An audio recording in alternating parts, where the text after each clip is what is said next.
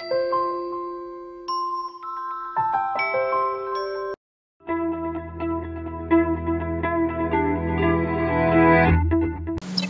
के इस वीडियो में हम सीखने वाले हैं एम एस एक्सेस में रिपोर्ट्स ऑप्शन का यूज़ रिपोर्ट्स ऑप्शन का यूज़ करने के लिए रिपोर्ट्स बनाने के लिए हम क्रिएट टैब में जाते हैं और क्रिएट टैब में देखिए ये रिपोर्ट ग्रुप के सभी ऑप्शन दिए गए हैं. रिपोर्ट्स का यूज़ क्या होता है? जैसे कि रिपोर्ट्स का मतलब ही होता है किसी चीज़ का प्रिंट निकालना है तो जो डेटाबेस टेबल के अंदर आपके रिकॉर्ड रखे हुए हैं, यदि आप उनका प्रिंट निकालना चाहते हैं, और सारे रिकॉर्ड्स को एक, जैसे एक्सेल में हम बनाते हैं, सारे डेटा को एक कॉलम की कॉलम के रूप में, और सभी डेटा को हम अगर एक लिस्ट वाइज जैसे जनरेट करना चाहते हैं तो उसके लिए एम एस एक्सेस में रिपोर्ट ऑप्शन का इस्तेमाल किया जाता है। रिपोर्ट को बनाने के यहाँ पर अलग अलग तरीके दिए गए हैं। यहाँ पर हम एक एक करके सारे ऑप्शन का यूज़ सीखेंगे। पहला दिया गया है रिपोर्ट तो जैसे हम रिपोर्ट में क्लिक करते हैं तो देखिए जो भी टेबल सिलेक्ट होती है, उसके अनुसार ऑटोमेटिक रिपोर्ट क्रिएट कर देता है। ये देखिए आप देख सकते हैं। तो जितनी भी फ़ील्ड होंगी, वो सारी फ़ील्ड रिपोर्ट में आ जाती हैं। केवल हमको क्लिक करना भी यहाँ पर बार बार नाम इसलिए आ रहा है क्योंकि इस तरीके से ये देखिए, ये टेबल सिलेक्ट थी स्टूडेंट डिटेल जब इसमें हम डबल क्लिक करेंगे, इसमें भी इसी तरीके से रिकॉर्ड जो है वो रिपीट हो रहे हैं। तो रिपोर्ट ऑप्शन पर सिंपल क्लिक करने पर क्रिएट में ये जो रिपोर्ट ऑप्शन है। ये डायरेक्ट आपको एक रिपोर्ट क्रिएट कर देगा। और अगर आप रिपोर्ट का प्रिंट प्रीव्यू देखना चाहते हैं तो उसके लिए आप जो है फॉर्मेट में ही जाकर के व्यू में जाकर के यहाँ से प्रिंट प्रीव्यू अगर देखेंगे तो इस तरीके की रिपोर्ट जो है प्रिंट हो जाएगी, जिसमें student ID student name student father name student mother name फिर ऐसे ही अगले पेज में भी आप जाकर के देख सकते हैं। तो देखिए, अगले पेज में भी डेटा दिखाई दे रहा है। तो यदि आप रिपोर्ट को सिंपल एक क्लिक में बनाना चाहते हैं और उसमें केवल इतनी फ़ील्ड है जितनी फ़ील्ड जो है सिंपल एक पेज में आ जाती है। तो आप बिल्कुल क्रिएट में जाकर के रिपोर्ट ऑप्शन में क्लिक करें और रिपोर्ट आपकी बन जाएगी। और फिर उसके बाद आप फॉर्मेट में जाकर के प्रिंट प्रीव्यू में क्लिक करें और रिपोर्ट का प्रिंट प्रीव्यू देख सकते हैं। अब रिपोर्ट का इस्तेमाल जैसे हमने बताया कि प्रिंट आउट निकालने के लिए तो रिपोर्ट बन चुकी है। यहाँ पर जैसे हम प्रिंट ऑप्शन में क्लिक करेंगे और यहाँ से प्रिंटर का नाम सिलेक्ट करेंगे ओके बटन में क्लिक करेंगे तो रिपोर्ट का प्रिंट आउट निकल जाएगा। तो हमने सीखा क्रिएट टैब के अंतर्गत सिंपल ऑप्शन इस रिपोर्ट के द्वारा किस तरीके से रिपोर्ट क्रिएट की जा सकती है। इसको भी हम क्लोज कर सकते हैं। चाहे तो हम इसको सेव भी कर सकते हैं। और यदि हमने यहाँ पर इस तरीके से लिख दिया और आप इसमें ये रिपोर्ट है टेबल है फॉर्म है, अगर आप ये लिख देते हैं तो आपको भी हमेशा तुरंत क्लियर हो जाएगा कि आपने रिपोर्ट बनाई हुई है कि क्या बनाया हुआ है। और रिपोर्ट का जो आइकॉन है वो कुछ इस तरीके से ग्रीन दिखाई देता है। ठीक है तो इससे आप समझ जाएँगे कि रिपोर्ट बनी हुई है, मान लीजिए आपने क्लोज कर दिया, और बाद में यदि आपको ये रिपोर्ट ओपन करनी है तो डबल क्लिक करेंगे, ये रिपोर्ट इस तरीके से ओपन हो जाएगी। अब यहाँ पर हम सीखते हैं रिपोर्ट के दूसरे ऑप्शन का यूज़ तो रिपोर्ट ग्रुप के अंतर्गत देखिए, यहाँ पर अगला ऑप्शन दिया गया है, जिसके द्वारा बड़ी आसानी से हम रिपोर्ट बना सकते हैं, वो है रिपोर्ट विजार्ड जैसे कि हमने टेबल बनाना सीखा था विजार्ड के द्वारा फॉर्म बनाना सीखा था हमने विजार्ड के द्वारा क्वेरी बनाना सीखा था हमने विजार्ड के द्वारा, वैसे हम रिपोर्ट बनाना सीखेंगे विजार्ड के द्वारा।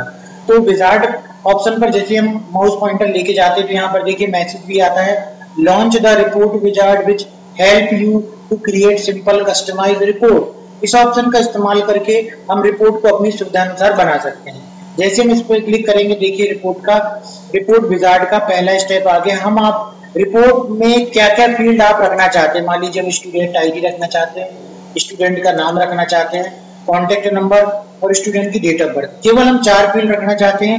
यदि हम सभी फ़ील्ड रखना चाहते हैं तो हम इस बटन में क्लिक करके और हटाने के लिए इस बटन में भी हम क्लिक कर सकते हैं। यहाँ से इसमें लाने के लिए इन बटनों का इस्तेमाल होता है और यहाँ से फ़ील्ड को इस तरफ़ लाने के लिए इन बटनों का इस्तेमाल किया जाता है। ये एक एक करके फ़ील्ड को लेकर के आएँगी, एक साथ सभी फ़ील्ड को लेकर के आएँगी। ये हमने क्वेरी में फॉर्म में और टेबल में भी इस तरीके से हमने किया हुआ था। अब उसके बाद नेक्स्ट बटन में क्लिक करेंगे। Do you want to add any grouping levels इसका अर्थ ये होता है कि आप किसी चीज़ के आधार पर जो है यदि अपने रिकॉर्ड को ग्रुप करना चाहते हैं तो आप रिकॉर्ड को ग्रुप भी कर सकते हैं। जैसे मान लीजिए हमने स्टूडेंट का एड्रेस लेकर के रखते हैं यहाँ पर सिटी लेकर के रखते तो जो एक से सिटी के स्टूडेंट होते हैं वो एक ग्रुप में आते हैं हेडिंग एक बार दी होगी तो अभी हम यहाँ पर किसी प्रकार से ग्रुप यदि ऐड नहीं करना चाहते हैं सिंपल हमको नेक्स्ट बटन में क्लिक करना है। यदि आप ना, यदि आप अपनी रिपोर्ट को किसी के अकॉर्डिंग असेंडिंग या डिसेंडिंग ऑर्डर में जमाना चाहते हैं तो आप यहाँ सेलेक्ट कर लीजिए। मान लीजिए हम स्टूडेंट के नेम के आधार पर अपनी रिपोर्ट को असेंडिंग ऑर्डर में या डिसेंडिंग ऑर्डर में जमाना चाहते हैं तो हम यहाँ पर स्टूडेंट का नाम सेलेक्ट कर लेंगे। तभी यहाँ पर स्टूडेंट का नाम सेलेक्ट है, जो कि असेंडिंग ऑर्डर में। यहाँ पर दोबारा भी ये फ़ील्ड इसलिए दी गई है। मान लीजिए दो स्टूडेंट के नाम एक से होते हैं उसके बाद आप कौन सी फ़ील्ड लेंगे और उस फ़ील्ड को क्या किस तरीके से आप उसको असेंडिंग या डिसेंडिंग ऑर्डर में जमाएँगे, उसके लिए आप दूसरी फ़ील्ड सेलेक्ट कर सकते हैं। तभी हमने यहाँ पर स्टूडेंट का नेम ही सिलेक्ट किया, जिसको असेंडिंग ऑर्डर में जमाएँगे। नेक्स्ट बटन में क्लिक करेंगे।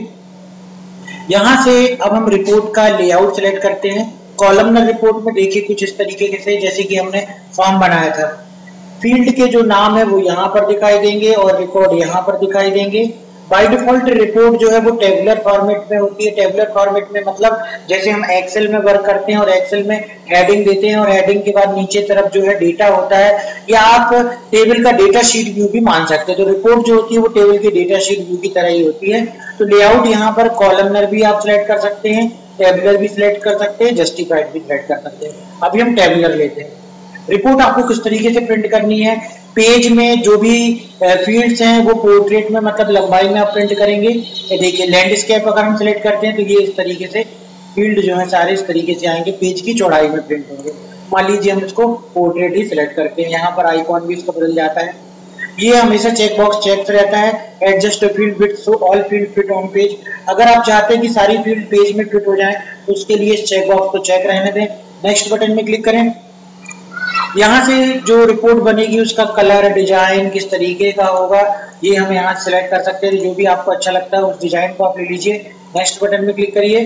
What title do you want for your report आप रिपोर्ट का क्या टाइटल देना चाहते हैं तो आप यहाँ पर रिपोर्ट का टाइटल दे सकते हैं। रिपोर्ट का सीधे आप प्रीव्यू देखना चाहते हैं या रिपोर्ट का डिज़ाइन व्यू में आप ओपन करना चाहते हैं? मान लीजिए हम डायरेक्ट रिपोर्ट का प्रीव्यू देखना चाहते हैं। यहाँ से हम प्रीव्यू द रिपोर्ट ऑप्शन को सिलेक्ट करेंगे। फिनिश बटन पर क्लिक करेंगे। देखिए मैसेज आ रहा है ऑलरेडी जो do you want to replace it तो हमने यहाँ पर नो कर दिया और पुरानी वाली रिपोर्ट को भी हमने रहने दिया, इसका नाम बदल दिया रिपोर्ट दे दिया। जैसे हम फिनिश बटन में क्लिक करेंगे, ये देखिए, जो भी डेटाबेस टेबल में रिकॉर्ड्स है, वो सारे रिकॉर्ड्स इस तरीके से और इस तरीके की डिज़ाइन जैसी रिपोर्ट्स की उसके आधार पर यहाँ पर आ चुके हैं। अब जैसे ही आप इसको प्रिंट करना चाहते हैं, बड़े आसानी से आप इसको प्रिंट भी कर सकते हैं। यदि आप इसको पीडीएफ फॉर्मेट में सेव करना चाहते हैं ये देखिए, यहाँ से जाकर के पीडीएफ फॉर्मेट में भी आप उसको बड़ी आसानी से सेव कर सकते हैं और ईमेल भी कर सकते हैं और इसका जब भी आप प्रिंट निकालना चाहें प्रिंट निकाल सकते हैं। प्रिंट निकालने के लिए बस आपको देखिए प्रिंट प्रीव्यू ऑप्शन में यहाँ पे आप प्रिंट बटन में क्लिक करिए और यहाँ से प्रिंटर का नाम सेलेक्ट करिए।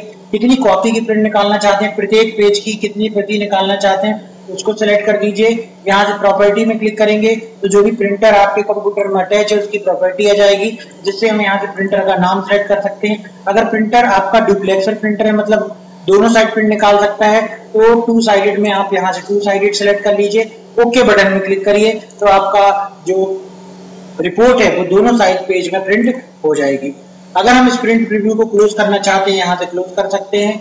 जैसे हम क्लोज करते हैं, देखिए हम रिपोर्ट के जो है ये डिज़ाइन व्यू में आ चुके हैं। और डिज़ाइन व्यू में हमने आपको बताया भी था फॉर्म डिज़ाइन करते समय ये सारे ऑप्शन कई। इन सारे ऑप्शन का इस्तेमाल करके भी आप रिपोर्ट को जो भी मॉडिफिकेशन करना चाहते हैं तो वो कर सकते हैं।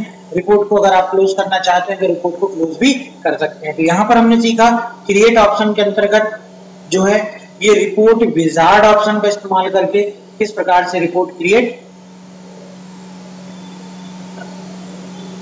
की जा सकती है।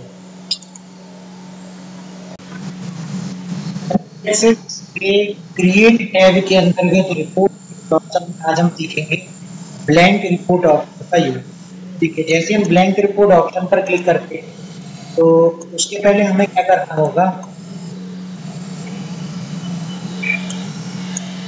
जैसे हम यहाँ पर ब्लैंक रिपोर्ट ऑप्शन पर क्लिक करते हैं तो यहाँ पर एक ब्लैंक रिपोर्ट स्क्रीन पर आ जाती है। जैसे पहले क्या था? हम विजार्ड के द्वारा रिपोर्ट बना देते तो फ़ील्ड सेलेक्ट करती थी यहाँ पर हम क्लिक करते थे तो जो भी टेबल सेलेक्ट होती थी वो टेबल के अनुसार ऑटोमेटिक रिपोर्ट बन जाती थी। लेकिन ब्लैंक रिपोर्ट में क्या होता है, इस तरीके की एक ब्लैंक रिपोर्ट दिखाई देती है।